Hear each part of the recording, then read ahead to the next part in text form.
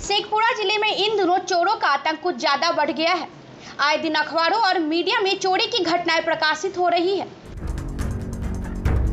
Police की सक्रियता के बावजूद चोर अपनी कोशिश में कामयाब होते नज़र आ रहे हैं। बीती रात्रि चोरों ने बरबिग्गा प्रखंड के सोभानपुर गाँव में लाखों के जेवरात व नकदी की चोरी कर ली है।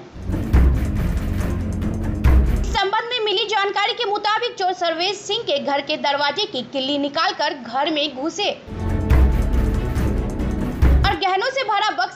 हज़ार नगद समेत नए कीमती सामान लेकर आराम से रफू चक्कर हो गए। इस दौरान घर वाले भी घर में ही सोए थे, पर उन्हें इस वारदात की बिल्कुल भी भनक नहीं हुई।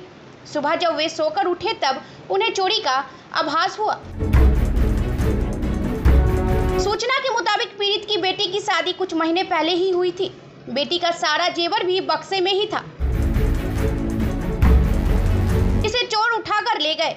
इस घटना में पीड़ित को लाखों का नुकसान हो गया है। खबर लिखे जाने तक इस बाबत प्राथमिकी दर्ज नहीं हो सका है। बीएनपी न्यूज़ के लिए शेखपुरा से संवाददाता धर्मेंद्र कुमार की रिपोर्ट।